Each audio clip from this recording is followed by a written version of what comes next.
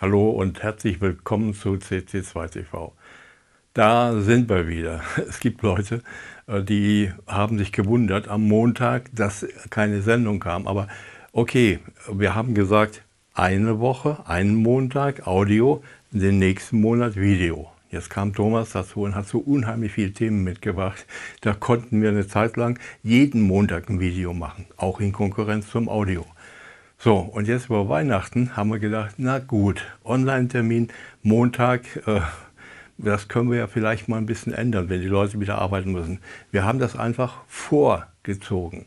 Jetzt auf Freitag, Freitagvormittag äh, online, dann haben wir äh, den ersten Weihnachtsfeiertag, den zweiten Weihnachtsfeiertag, den dritten Weihnachtsfeiertag. Zeit in Ruhe, das hier anzusehen. So, und dann geht die Arbeit wieder los. Und dann kommt Neujahr und dann machen wir das gleiche Prozedere. So, und wenn Ihnen das gefällt, dann melden Sie sich doch einfach. Ist es besser, wenn wir den Online-Termin vorziehen, wenn wir das dann natürlich auch entflechten mit dem Audio und eventuell, ja, ich habe die Befürchtung, kommen auch nächstes Jahr wieder ab und zu mal wöchentlich neue Videos. Also einfach mal die Meinung dazu schreiben, ordentlich und anständig, sonst wird es gelöscht. Und dann gucken wir uns das an. Wir gucken uns aber auch die Abrufzahlen an, ob das äh, besser passt, ob mehr zum gleichen Zeitpunkt abrufen als früher nach dem Online-Stellen. Gut, das war's eigentlich. Heute mh, hm, das, was sich so angesammelt hat. Kein großes Thema, nicht irgendwas Großes, kleine Sachen, keine Gimmicks, sondern schon nützliche Dinge, äh, mehr oder weniger, aber einfach ein bisschen zusammengefasst. Aber das kann und will ich auch gar nicht allein machen. Thomas ist im Studio. Ja. Thomas, äh, du hast ja auch zwei Themen vorbereitet. Ja. Und läuft alles? Ich denke ja. Wir machen das mal so wie, wie früher. Äh, viele Themen auf einmal. Okay, und dann ein bisschen hin und her. Ein bisschen hin und her. Ich darf anfangen. Machen wir heute mal so. Danke. So, äh, Anfang. Ich meine, äh, es gibt ja eine sehr, sehr hohe Verbreitung in Deutschland mit der Fritzbox von AVM. Und äh, viele Leute nutzen ja auch diese äh, Schalter, die über DCT gesteuert werden über eine besondere Form, also nicht der Bereich und das, wo die Telefonie darüber funktioniert. Und diese Dinger sehen dann, na jetzt habe ich sie hier schon verhunzt, aber ich ziehe mal die Stecker hier raus, sehen dann so aus. Wirk. So, jetzt gucken wir uns die mal an. Das hier äh, ist das Standardteil, das ist das DCT 200. Und das hier, das ist ein spritzwassergeschütztes. Damit kann man gerade jetzt so die Außenbeleuchtung für Weihnachten oder sowas machen. Nicht unter Wasser setzen und nicht da, wo der Regen drauf prasselt. Aber okay, so, das ist dieses äh, DETT, DECT 210. Äh, größer, warum? Kleiner, Preis, also ich habe es beide gefunden, äh, entweder äh, bei äh, was, eBay oder sowas oder Amazon oder wo auch immer, bei einigen anderen Händlern, die nicht über diese Monsterplattformen verkaufen, äh, um die 45 Euro herum, beide. Teilweise war sogar die größere etwas günstiger. Ich habe mir gedacht, naja, gut, die ist für außen, die ist für innen, gibt es sonst noch Unterschiede. Und habe welche gefunden. Und zwar etwas, was ich finde ganz Wichtiges. Ich zeige es Ihnen mal. Das sind äh, solche ja, Teststecker. Da kann man gucken, ob so eine Steckdose richtig verkabelt ist. Da sind Glimmlampen drin, die sind also aus früherer Zeit. Ich habe sowas natürlich auch modern, äh, aber äh, die sind mir hier zu kompliziert und so zu dunkel, da ist so viel Krempel da drauf geschrieben. Äh, zum Betrachten ist sowas einfacher. Ich stecke das Ding mal hier rein. So, die Steckdose ist eingeschaltet, wie wir sehen können. Und äh, da sehen wir hier sind, sehen wir das? Ja, wir sehen es. Sind hier äh, beide Glimmlampen an. So, und die dritte ist aus. Äh, die, das signalisiert mir jetzt, die Polung ist richtig äh, und äh, die Steckdose ist also richtig angeschlossen. Jetzt nehme ich hier das zweite identische Teil und stecke das hier in die 210er hinein und welch Wunder, auch da äh, genau das Gleiche. Alles in Ordnung, alles schön, alles richtig. Was soll das jetzt? Pass auf, äh, ich habe hier meine Fernschalter mitgebracht, damit ich hier nicht draufdrücken muss.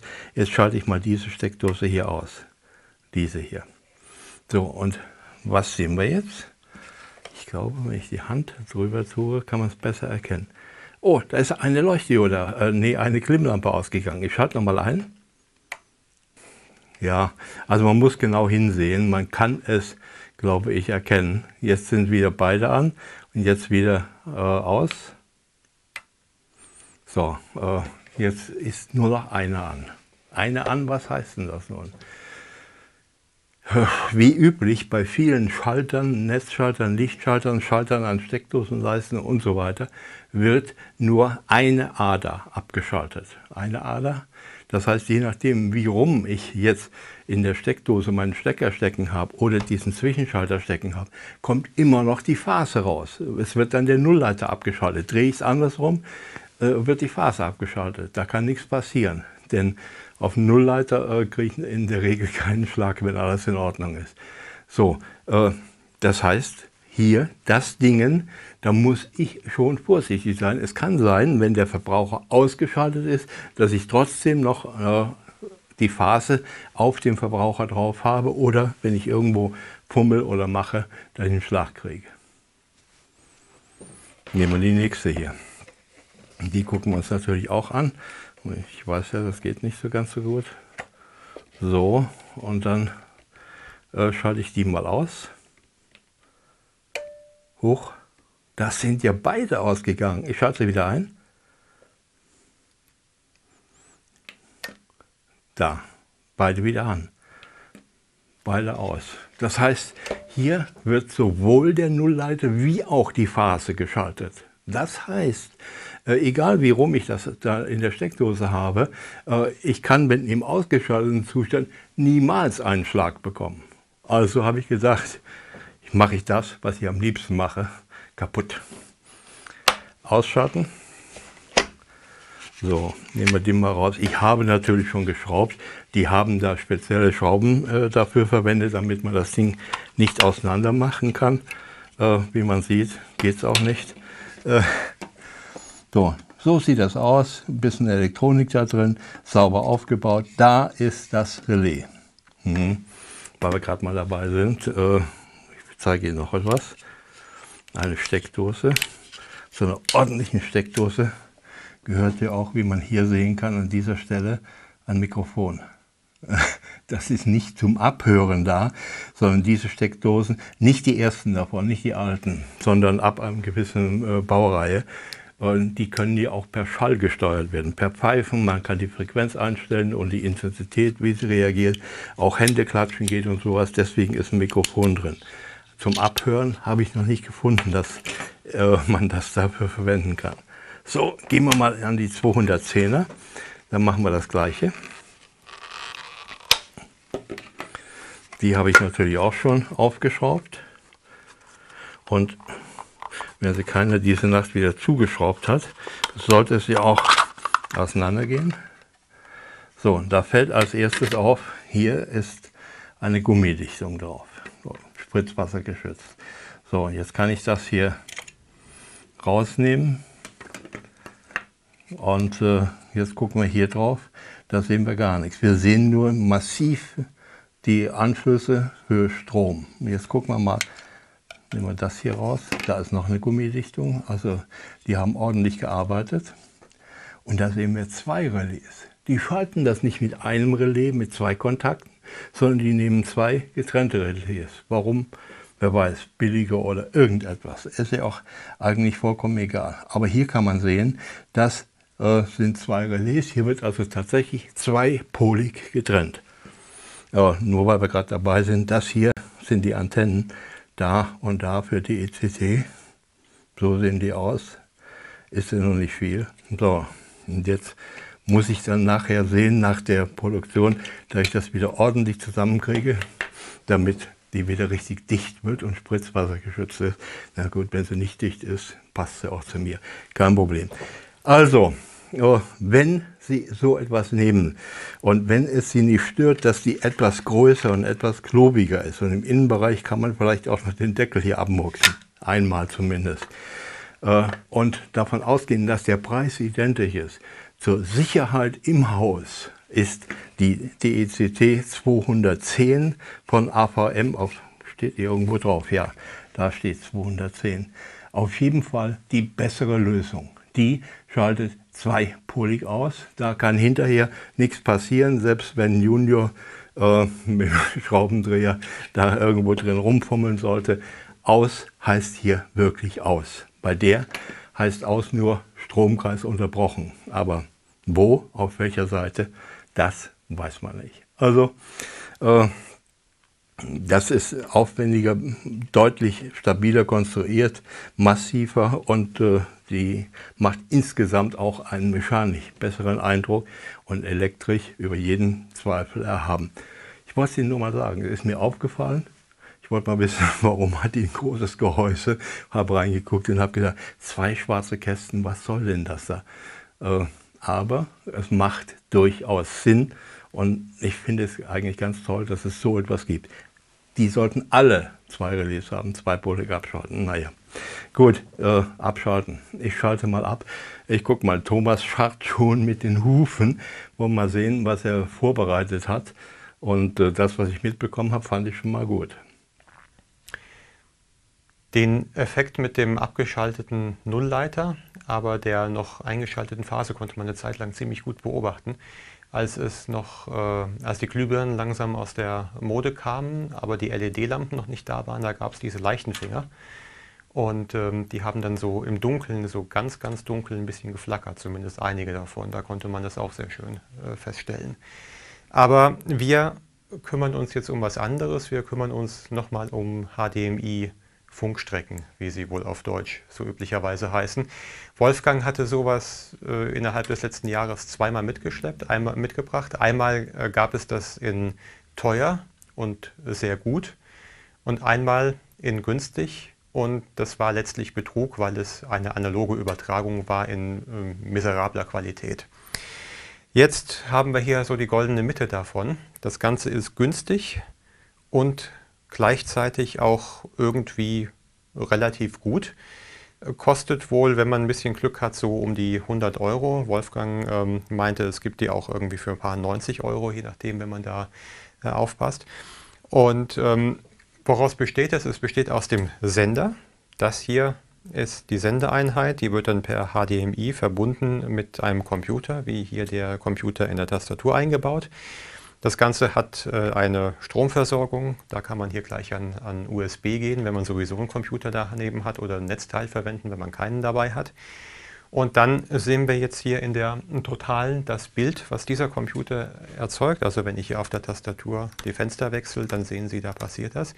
Aber es ist kein Kabel zwischen dem Computer und dem Monitor gelegt, sondern bei Wolfgang auf dem Tisch steht so ein größerer Kasten mit einer ziemlich langen Antenne dran. Das ist der Empfänger, auch wenn er ganz anders aussieht, das ist der Empfänger von dem Dingen. Und der empfängt das Signal, setzt es wieder auf HDMI um und man kann es da auf dem Monitor sehen. Nun, was gibt es dazu zu sagen? Qualitätsmäßig bei Standbildern äh, sehe ich keinen Unterschied zu äh, einer Kabelverbindung. Die Latenz ist spürbar, aber gerade so spürbar nicht, aber sie stört nicht. Das heißt, wenn ich hier eine Betätigung mache, damit es auffällt, also Fenster, das geht. Äh, sie hören wahrscheinlich, wenn ich hier auf der Tastatur rumklampfe äh, und sehen das Bild, das, das geht quasi in Echtzeit. Es wird die wenigsten stören. Wenn Sie darüber Fernsehen schauen wollen, es macht keine komplett ruckelfreie Übertragung. Die Übertragung ist zwar fast gut und fast perfekt, aber es stört irgendwo. Und das gleiche auch bei Computerspielen. Ähm, wenn sehr, sehr viel Action äh, ist im Bild, dann, ähm, dann merken Sie, dass die Framerate eben nicht bei 50 Frames in der Sekunde liegt, sondern irgendwo ein bisschen darunter. Wo das Ding auch an seine Grenzen kommt, wenn sehr, sehr viel Bildinformation übertragen muss. Äh, digitale Übertragungsformate funktionieren ja so, dass sie das alte Bild sich angucken und sagen, was hat sich im Vergleich zum alten Bild verändert. Wenn sich im, zum Bild davor viel ändert, wie wenn wir hier so einen Grafiktest machen, das können wir jetzt hier im Video leider nicht so richtig rüberbringen, weil es da wiederum Verluste gibt. Das heißt, Sie Sie, wir wissen nicht, ob die Effekte, die Sie sehen, dann wirklich die Effekte sind, ähm, die hiervon kommen oder von der Kompression von dem Video dann später bei YouTube. Ähm, wenn, wenn sowas passiert, wo wirklich sehr, sehr viel, wo wirklich darauf angelegt wird, dass ständig irgendwo so das Bild sich ändert, dann ähm, kann man erkennen, diese Kreise, die fransen aus, das sind so Effekte, wie wenn man ein JPEG, eine JPEG-Datei schlecht komprimiert. Also das sind ganz klar die Grenzen davon. Aber ansonsten, wenn Sie in irgendeinem Meeting äh, Ihre langweilige PowerPoint-Präsentation präsentieren wollen oder wenn Sie da einen Film, äh, Familienabend mit, ähm, mit äh, den Urlaubsfotos von letztem Jahr machen wollen, sowas, ist das absolut ausreichend, das Ding. Wo ich nicht von überzeugt bin, ist die Anleitung dabei. Die äh, ist ja so oberflächlich, wie das oft ist bei so vergleichsweise günstiger Hardware. Äh, da steht weiter nichts drin, wie das ist, ähm, wie ist das Ding abgesichert. Was passiert, wenn mein Nachbar so ein Ding hat? Verbindet sich das damit oder äh, hat der Sender und der Empfänger haben den einen fest ähm, einprogrammierten Schlüssel? Ähm, die Kommunikation selbst passiert über WLAN. Die Dinger bauen ein eigenes WLAN auf. Wir können das hier sehen, wir blenden das auch ein. Da taucht ein WLAN-LK-Dongle auf, hier am Computer, ähm, auf dem ich äh, diesen WLAN-Scan laufen lasse. Das Ding ist direkt daneben. Wir haben minus 44 dBm im Moment. Wenn ein Signal minus 44 dBm hat, dann können Sie davon ausgehen, es ist so stark, es beißt Sie quasi, es ist direkt daneben. Und das ist also eindeutig das Signal, was hiervon kommt. Das ist ein WLAN-Access Point, der aufgebaut wird, der Empfänger verbindet sich damit.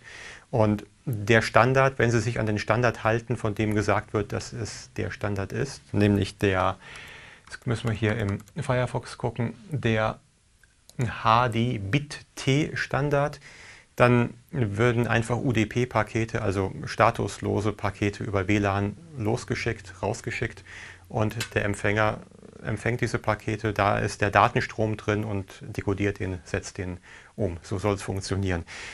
Ähm, Sie reden hier von einer AES-Verschlüsselung und sagen, es ist alles total sicher. Und wenn man das richtig implementiert, ist AES eine sichere Sache. Wie gesagt, ich weiß nicht, wie der Schlüssel generiert wird. Aus meiner Erfahrung ähm, aus der IT-Sicherheit muss ich sagen, ich habe große Skepsis. Sie sollten, ähm, wenn Sie einen Nachbarn haben, der äh, Hacker ist oder äh, wenn Sie vom Geheimdienst überwacht werden, dann sollten Sie sowas vielleicht nicht verwenden. Wobei andererseits, wir haben vor einem Jahr gezeigt, auch HDMI-Kabel, echte Kabelverbindungen kann man abhören. Also es, wie sicher es ist, wissen wir nicht. Das sage ich dazu. Aber viel unsicherer als ein langes HDMI-Kabel, was der Nachbar durch eine Wand hören kann, äh, ist es dann am Ende wahrscheinlich auch nicht. Das ist Ihre Entscheidung. Ansonsten ein nettes Gimmick für den, der es braucht. Und Wolfgang hat auch ein nettes Gimmick. Ein schönes Teil. Äh, wir haben auch mal versucht, so ansatzweise so ein bisschen was über die Reichweite rauszubekommen, weil diese Dinger mit ihrer hohen Bandbreite, Bandbreite natürlich eine relativ kurze Reichweite haben. So nach sechs Meter Entfernung konnte man mit Händen um die Antenne des Empfängers hier schon äh, Störungen verursachen. Äh, gut, ist nicht der normale Betriebsfall, aber so innerhalb eines Raumes sollte es eigentlich relativ problemlos funktionieren. Ja, äh, ich weiß nicht. Tragen sich Muck ich nicht, tragen sich Kettchen ich nicht. Äh, Kettchen macht man ja früher mit so kleinen fummeligen Verschlüssen dazu irgendwie und das hat nicht funktioniert. Seit einigen Jahren gibt es hier diese kleinen Magnetverschlüsse. So sehen diese Dinge aus und die kann man dann einfach rutsch und da sind sie äh, zusammen. So, und, äh, diese Magnetverschlüsse, die haben mich eigentlich ein bisschen fasziniert. Vor allen Dingen, das kostet ja nichts. Da kost, bekommt man eine Handvoll für einen Euro oder so. Hier äh, habe ich, das sind noch nicht alle, die ich habe, äh, diese hier. So ein paar gekauft und habe gedacht, Mensch, äh, wenn ich bastel auf meinen äh, Bastelbrettern oder sowas, da habe ich immer das Problem, wenn ich externe Sensoren oder irgendetwas anschließe, anschließe was gepolt ist und so, äh, weiß ich nicht genau, muss ich genau gucken oder habe die verkehrte Brille auf. Und da habe ich mir mit solchen äh, Verschlüssen sowas hier gebastelt. Das ist jetzt eine, kommt jetzt von USB, eine Stromversorgung ähm, habe ich an einen solchen kleinen Magneten dran gelötet und habe da, damit ich es auch noch besser erkennen kann, äh, hier äh, zwei Farben drauf gemacht. Das ist wie immer, rot ist blau und plus ist minus. So, und dann äh, habe ich ganz einfach, wenn ich jetzt hier äh, mich nähere, so, dann macht das Tick-Tack und die Leuchtdiode ist angegangen mache mal eine Verbeugung, Leuchtdiode, so zum Zuschauer, damit er sich freut. Okay, so, ich mache es nochmal ab und dann nochmal zickzack. So, dass das wirklich funktioniert, ich zeige es Ihnen einfach mal. Ich versuche es mal verkehrt rum dran zu machen. Den Minuspol äh, hier an den Plus ran. Und was macht der Minuspol? Der will nicht. Der duckt sich immer weg. Da, da will er also nur wirklich nicht ran. Und äh, der Pluspol natürlich hier bei Minus genauso. Wenn es aber stimmt, die Paarung, dann ist alles okay. Äh, eine Spielerei. Äh, schade, dass Magnete nur zwei Pole haben, sonst könnte man für verschiedene Kabel das machen. Aber mir hilft es, äh, wenn ich schnell was abziehen und ranmachen muss, immer noch besser als irgendwo zu fummeln zu stecken und dann festzustellen, dass es doch verkehrt rum war. Ähm, dann, seit einiger Zeit sehe ich, immer und überall Kabel auftauchen. Sowas hier. Äh, USB und hier am Ende befindet sich so ein kleines Dongle-Dingel-Dungelteil da. Und das kann man drehen. Und das kann man abnehmen. Und da sieht man sowas ähnliches wie ein, wie ein Kontakt, so ein Pinökel da drin. Und das kann man wieder drauf machen. Und da gibt es verschiedene. Was es nicht gibt, ist Mini-USB. Aber es gibt Mikro und es gibt äh, äh, die äh, iPhones gibt es Adapter und ich weiß nicht was alles noch. Äh, wir sehen hier sind so ein paar dieser Adapter da, unterschiedliche Formate. Die sind hier in so einer Aufbewahrungshülle drin. Und es gibt unterschiedliche, da hat sich einer schon drauf gemacht. Du sollst da gar nicht da drauf gehen. Ah, der ist da aus der Halterung rausgesprungen. Es gibt unterschiedliche Kontaktflächenanschlüsse. Und das sind diese beiden, äh, die mir am häufigsten untergekommen sind. Das eine ist der zweipolige mit dem Pol in der Mitte und das andere ist so einer, der sieht aus wie so eine Mini-Kochplatte aus der Puppenstube. Äh, sind auch nicht kompatibel zueinander, hat also keinen Sinn, die kriegt man nicht aufeinander. So, und was macht man jetzt damit? Ja, man steckt einen solchen Dongle zum Beispiel in mein Telefon hier unten rein, weil wenn ich dann irgendwo im Dunkeln mit falscher Brille das Ding aufladen muss, bis ich dann weiß, wie rum ist denn das und wo ist denn das und geht das denn da rein, war mir alles zu kompliziert. Ich habe hier so ein paar Kabel und jetzt mache ich einfach Tupp. Das war's. Jetzt, äh, noch ein. Ach, die hier kann man übrigens sogar noch äh, knicken da um 180 Grad. Äh, mein äh, Servierbrett, also mein Tablett, Achtung, Zupp und das war's. Meine äh, EU, Ärgeruhr, das heißt dieser Deautorisierer, den, als Armband zum Beispiel, genau das gleiche. Komme ich äh, aus dem Vier-Buchstaben-Laden, wo ich die Leute geärgert habe, die plötzlich äh, keinen WLAN mehr hatten. Äh, das hier, Zupp, und das war's. Genauso, da kommen wir dann aber auch zum kleinen Problemchen, äh, mein Blutzuckermessgerät. So, dieses Teil, äh, Glucose testen, machen wir mal gerade. Äh, der sagt mir, Akku fast leer.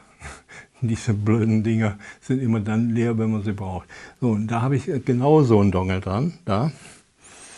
Äh, und da sehen Sie, das ist jetzt einer mit so einer äh, Spirale, also ein anderes Format. Der passt hier nicht, da müsste ich dann dieses Kabel hier nehmen. Warum ich da den drauf gemacht habe, weiß ich nicht. So, und der hat sogar noch eine Kabelbeleuchtung. Und dann hier auch da drauf, zupp.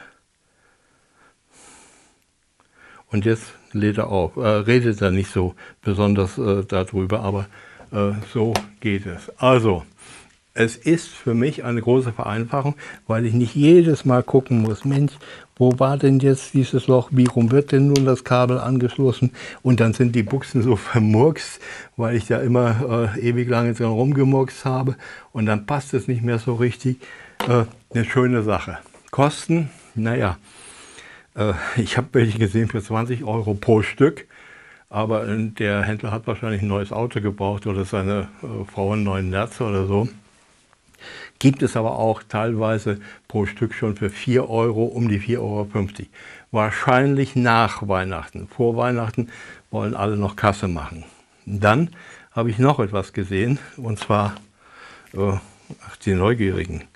Ja, ja, gut, also nach dem Frühstück, so sieht es aus. Also äh, jetzt funktioniert es doch. Äh, und zwar sowas hier. Ähm, USB-Anschluss, ja, kurz irgend so ein Knubbel da drin und hier auch Magnete. Jetzt kann man sich fragen, was soll der Quatsch? Äh, nehme ich Akku, hänge ich hier ran, ohne zu überlegen, wo hatten der Plus oder Minus. Äh, steht zwar drauf, macht aber keinen Sinn. Und dann stecke ich das einfach in mein Ladegerät und das war's. So, äh, nach der bringt etwa 1 Ampere. Jetzt muss ich dazu aber was sagen. Äh, ich gehe erst noch mal hier auf das hier zurück. Also hier äh, habe ich ein Problem, wenn ich jetzt hier ähm, diesen Äumel hier drauf gehabt habe äh, und äh, ich anschließend schalte ich das ab, behaupte das Teil immer, es sei, obwohl nur dieses Dongle-Dings-Bums da drin ist, es sei mit äh, dem Computer verbunden und will nicht mehr messen, sondern will die Daten übertragen auf dem Rechner, um sie nach Amerika zu schicken. Dann muss ich den Dongle rausmachen. Von einem anderen Hersteller funktioniert das aber. Dann habe ich gedacht, dann messe ich doch mal. Vielleicht hat er hier einen Widerstand drin oder irgendetwas äh, und das Ding fragt das ab. Äh, also, ich war zu vermessen und habe gemessen äh, und da war überhaupt nichts messbar. Kein ohmscher Widerstand. Nichts Ohmsches, also komisch. Nicht ohmisch, aber komisch. So, äh, ich weiß noch nicht warum, vielleicht komme ich irgendwann noch mal dahinter. Wollte ich nur sagen, kann passieren, also nicht wundern. Und hier bei dem Ding, dazu muss ich sagen, das hier äh, ist etwas, das würde ich mir nie mehr kaufen, weil das einmal nur für Lithium-Ionen ist, nur für 3,6, 3,7 Volt. Erkennt zwar die Polarität, aber mehr nicht.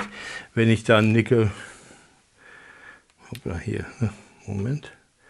So, wenn ich jetzt hier äh, so einen ganz normalen äh, äh, Akku da, wie wir sie in vielen, vielen Geräten drin haben, so ein Metalldritteil äh, daran hänge, dann bekommt der dicke Backen und irgendwann platzt der eben. Wie das ist, wenn jemand dicke Backen hat. Äh, und das Ding erkennt also nicht, dass der mit einer niedrigeren Spannung geladen werden muss. Es gibt aber welche, die sind blau. Und äh, die müssen zwingend zu ihrer Bezeichnung, Oli irgendetwas heißen die, ich schreibe es in den Text unten drunter, äh, die müssen zwingend äh, eine Bezeichnung haben, zwei Buchstaben dahinter, UC. Wenn das der Fall ist, dann erkennen die einmal, äh, ob sie einen Akku haben mit 3,7 Volt oder mit 1,2 Volt und die Polarität und können auch beide laden. Im Moment werden auch die wieder für unverschämtes Geld verkauft, kurz vor Weihnachten, sollten aber auch um die 6 Euro äh, können. Äh, und die gibt es auch äh, mit einem Ladestrom von 1 Ampere äh, und es gibt ja auch mit einem Ladestrom von äh, verschwindend gering, ich weiß es nicht, wo über Nacht noch nicht mal, also wenn abends das Telefon leer ist und ich will, oder der Akku leer ist und ich will äh, dann aufladen, dann muss ich warten, bis die Sonne wieder aufgeht, damit der einigermaßen voll ist äh, auch das Ding, äh, was deutlich besser ist und nicht dieses äh, Unbrauchbare, werde ich noch in den Text äh, unter das Video schreiben. Ich wollte es nur mal zeigen. Es gibt schöne, preiswerte, praktische Dinge. Ich habe Hier so ein Dreifachsatz von diesen Kabeln mit äh, drei verschiedenen Adaptern. Oder es waren sogar noch mehr dabei. Aber leider kein Mini-USB. Die sind also raus, der ist zu groß, passt wahrscheinlich nicht. Äh, für 6,50 Euro irgendwann mal bekommen. Ich hoffe, nach Weihnachten gibt es das wieder. Und relativ stabil sind die auch. Ich würde also hier keine Schleudertests machen wollen, aber sowas geht zum Beispiel. Und anschließend, wie gesagt, das ist äh, eine Sache, die einfach nur Spaß macht. Gehst du da in die Nähe und passt immer. Äh, noch etwas. Ich habe eine kleine Lampe neben meinem äh, Tisch stehen. Die hat einen Metallfuß und an diesem Metallfuß, an der Lampe, äh, hänge ich die einfach ran es gibt keinen Kurzschluss. Die sind so konstruiert, dass der innere Pinökel und äh, die äußere Kontaktfläche mit dem Magneten, dass die nicht äh, so äh, gestaltet sind, dass da einen Kurzschluss geben kann. Also der Pinökel ist ein bisschen weiter zurück. Gut gemacht, schöne Sache. Wenn Sie sowas bekommen können für 6,50 Euro, drei dieser Kabel, macht sich das Leben viel, viel einfacher. Anschließen und so ist überhaupt kein Thema mehr. Einfach mal schnell zwischendurch.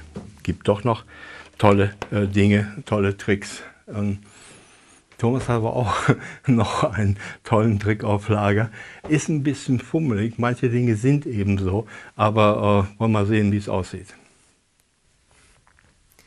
So, und zum Schluss noch eine Sache, die wahrscheinlich für die allermeisten Leute nicht ganz so relevant ist, aber die, für die es relevant ist, für die ist es wichtig zu wissen, dass es sowas gibt. Ähm, es gab mal eine selige Zeit, da äh, hatten die SIM-Karten in unseren Telefonen eine einzige äh, Größe. Das war die hier. Die hat überall reingepasst und alles war gut. Und dann kam man irgendwann auf die Idee, dieses Plastik da drumherum wegzuschneiden und daraus eine Mikrosim zu machen. Und weil das noch nicht gereicht hat, hat man das restliche Plastik weggemacht und dann gab es die Nano-SIM. Jetzt haben wir dieses herrliche Chaos, man kauft sich ein neues Telefon und da funktioniert die alte Karte nicht mehr, also die kriegt man dann nicht mehr rein. Und dann ähm, kann man zum Provider gehen und meist kriegt man da kostenlos eine Ersatzkarte und dann hat man hier so diese ähm, Ausschneideschablonen davon. Und dann ist die Karte klein und dann will man sie wieder in ein altes Telefon äh, einsetzen mit diesen Schablonen und das funktioniert alles ähm, nicht so richtig, weil beim Einsetzen löst sich die Karte wieder da draus und äh, äh, lauter so ein Chaos. Es gibt aber noch viele andere Anwendungszwecke. Wenn man eine Karte normalerweise im Telefon hat, aber dann aus irgendwelchen Gründen äh, sie dann mal in einen LTE-Router legen will. Das Telefon hat so einen kleinen Kartenanschluss, LTE-Router hat einen großen. Ähm, der, der Wahnsinn ist vorprogrammiert für Leute, die eben ihre Karten etwas flexibler verwenden wollen, weil sie vielleicht ein Ferienhaus haben, wo sie am Wochenende die Karte in LTE-Router stecken wollen. Unter der Woche haben sie die Karte aber in ihrem Telefon oder andersrum. Leute, die auf Festnetz verzichten, weil sie sich nicht mit Telekom und Vodafone rumärgern wollen, zumindest nicht mit Laufzeitverträgen von 24 Monaten, die sich anfühlen wie 24 Jahre oder für Leute, die halt selten zu Hause sind, weil sie viel und gerne unterwegs sind und keinen Festnetzanschluss haben. Die wollen natürlich auch mal flexibel sein. Die wollen so eine Karte auch mal rausnehmen und dann woanders hinlegen. Das hier sind Adapter. Das ist ein Adapter, wir können das hier sehen, ein 4 in 1 Adapter und das wird als, äh, im Internet als, äh, unter anderem als Aktivierungswerkzeug verkauft. Da steckt man dann, kann, kann man sich aussuchen, ob man eine Nano, eine Mikro oder eine ähm, eine äh, normale SIM einsteckt, die heißt ja auch schon Mini-SIM, weil in der Anfangszeit von GSM waren die ja so groß wie Kreditkarten. Das kommt ja auch noch dazu, aber die Zeit ist lange vorbei.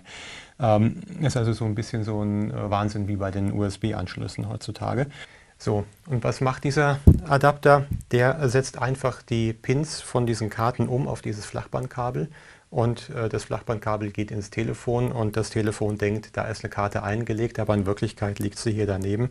Und wenn das hier, äh, wie in dem Fall, ein Microsim-Telefon ist, ein älteres, was ich gerne mal als LTE-Router verwende, weil das Display ist relativ kaputt, aber das LTE-Modem da drin funktioniert perfekt. Also warum das Telefon nicht als, als Router quasi weiterverwenden?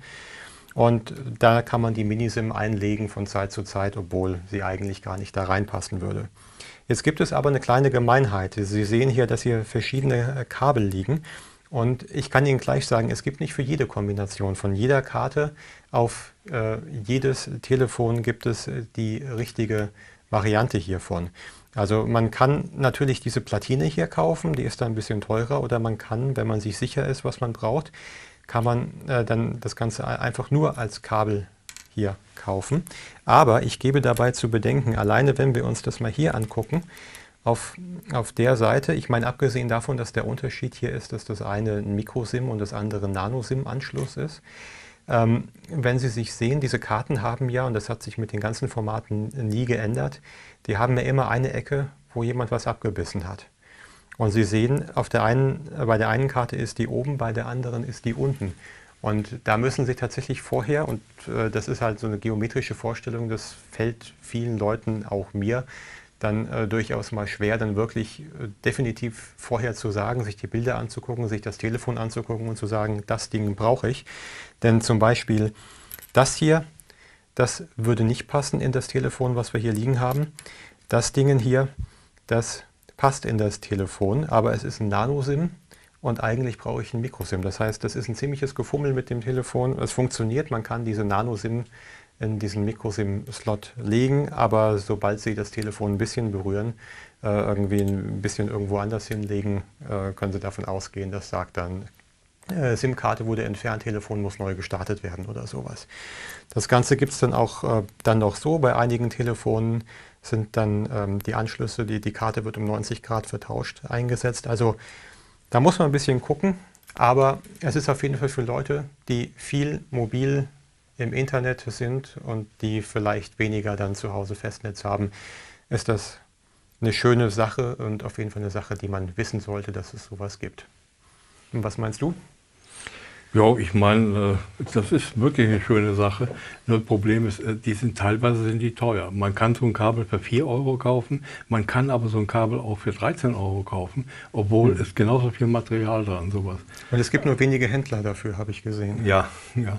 Und dann muss mhm. man anfangen zu suchen. Und die technischen Daten, die dabei stehen. Die technischen Daten sind, äh, die, die Händler schreiben einen totalen Schrott dazu. Also das ist Wahnsinn. Es gibt das auch, einige Telefone sind vorbereitet, äh, dass man extern eine zweite SIM anschließen kann. Da haben Sie einen Adapter, wo man SD-Karte auf der einen Seite und SIM auf der anderen Seite äh, einsetzen kann. Die funktionieren nur mit den Telefonen, die dabei aufgelistet sind. Ansonsten sind die wertlos, sehen aber fast identisch aus, sollte mhm. man auch noch dazu sagen. Ja, okay, also eine Lösung für Bastler, aber sicherlich wichtig, wenn man, wie du sagst, irgendwann mal einen billigen Tarif haben will, um viel laden zu können. Mhm. Irgendwann kommt die eSIM, dann wird es vielleicht einfacher, aber ja, in Autos gibt es die ja schon. Ja, teilweise, du kannst, aber äh, die Endgeräte, da dauert das noch, bis sich das so richtig ja. durchsetzt. Okay, das war's oder hast du noch was? Nö, für heute reicht's. Was sagen wir den Zuschauern? Äh, die mussten jetzt lange aushalten. Wir wollten eigentlich was Kurzes machen, aber es ist mhm. Weihnachten. du hast überzogen. Ich, ja. immer ich, ja. Ich, okay, ja. Wir, wir sagen ganz, ganz, einfach frohe Weihnachten und äh, bis nächste Woche. Nicht bis nächstes Jahr, bis nächste Woche. Was auch immer das bedeutet. Ich tue einen Daumen nach oben, wir sagen Tschüss und immer einen Bit übrig behalten. Und vielen Dank für die Spenden, die wir jetzt noch einblenden. Und Tschüss.